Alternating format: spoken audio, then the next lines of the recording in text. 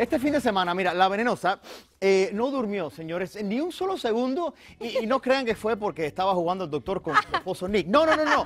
Sino porque vio una película terrorífica que no la dejó cerrar los ojos. Carolina. Jorgito, tal y como yo quería contártelo, porque como te pediste de venir al programa el viernes, sí señores, ustedes recordarán que la semana pasada nos propusieron un reto de horror, ay, sí, es que hasta me traba la lengua, en el que Diego de Un Nuevo Día, Edgar de Titulares y más, y una servidora, porque yo fui la escogida en Suelta la Sopa, para ver una película que me paró los pelos y esto fue literal. Señores, Insidious Chapter 3 hizo que me muriera de los nervios, que me comieran las uñas de gel y que incluso tuviese que comer más de la cuenta. Por eso es que me ves gordita. Ay, vean ahí.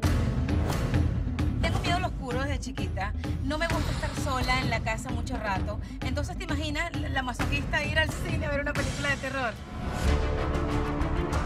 Pero hoy les voy a demostrar quién lleva los pantalones. Hey there. Mom?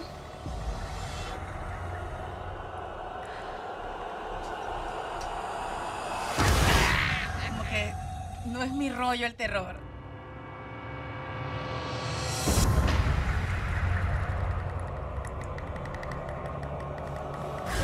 If you call out to one of the dead,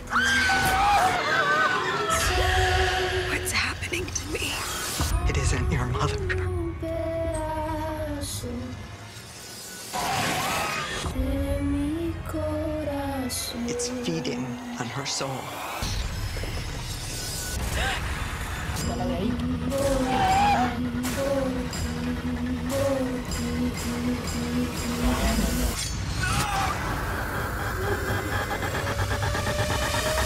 Mi corazón.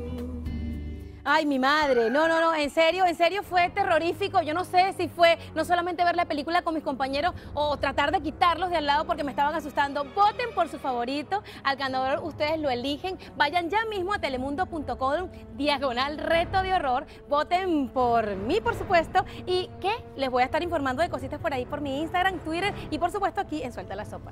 Tengo entendido que ustedes tres, los tres salieron con los pelos parados, bueno, menos Edgar. Que... Bueno, Edgar, en realidad tuvo otras sensaciones, después te las cuento. Ay, Dios mío, bueno, ustedes en casa no se asusten, no se acabó el programa, todavía queda mucho más, suelta la sopa. La sopa, suelta la sopa ya.